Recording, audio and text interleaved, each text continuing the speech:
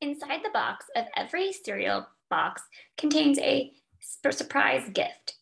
The store manager assures employees that 16 of the 57 boxes on the shelf have a secret decoder ring, and inside the 41 boxes on the shelf contain a different gift. If two, two cereal boxes are randomly selected from the, from the shelf to purchase, what is the probability that both will have the decoder ring? So this is an AND problem because they're talk they want to know the probability of two consecutive events happening. The first event is the first box containing the decoder ring. And the second event is that the second box will, will have contained the decoder ring. So you could say let A be the event, or I'm going to use capital A like they, that they like to.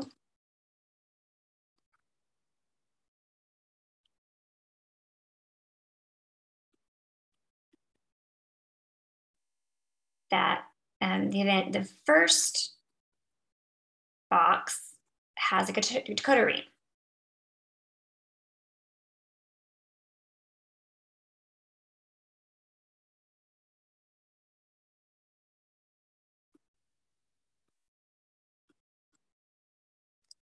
And let B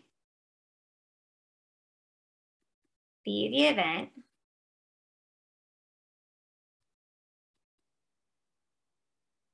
that the second box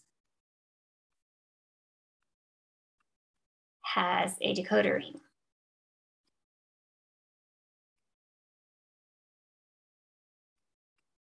Now that they're not saying like, what is the probability of either the first box or the second box containing the ring? You know, then that would be an or problem.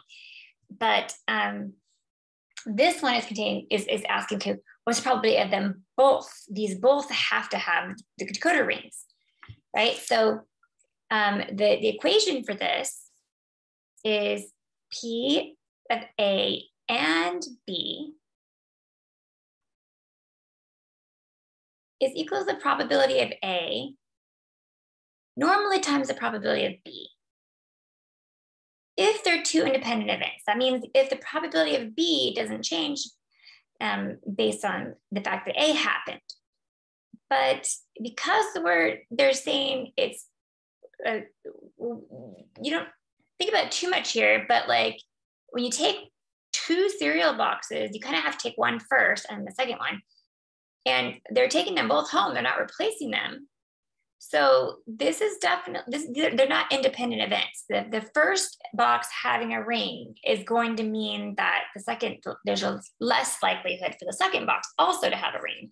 So really we we have to do the probability of B occurring such that A occurred.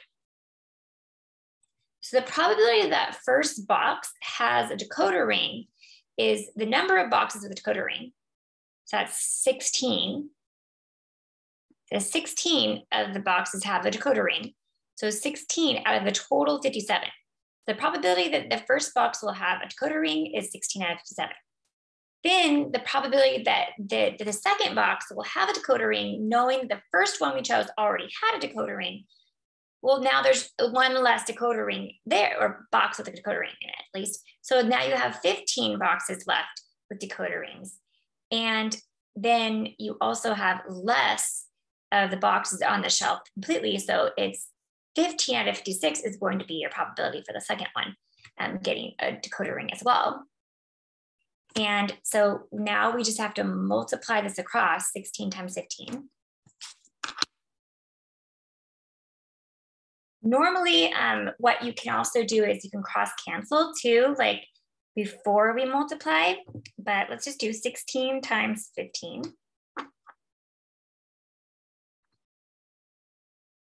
Is 240 over 57 times 56. Just do these again. 57 times 56, 3192.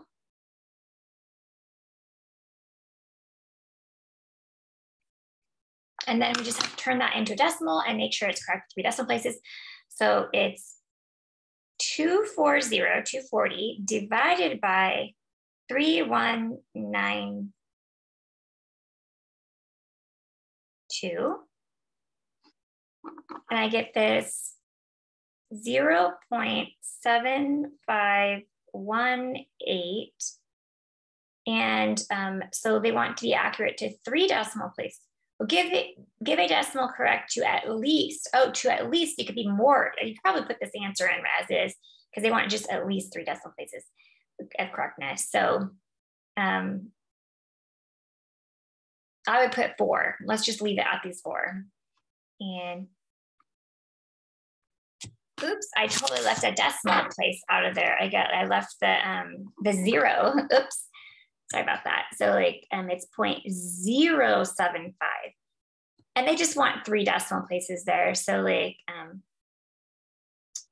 we could put all these decimals in, I'm sure, and be fine, or we could just put these last three and round to three decimal places. It would have been, um, it would have been, this one is less than five, or so it's, uh, I would have just truncated off those last two decimals and point, point and then zero, seven, five. And there we go. That's our answer.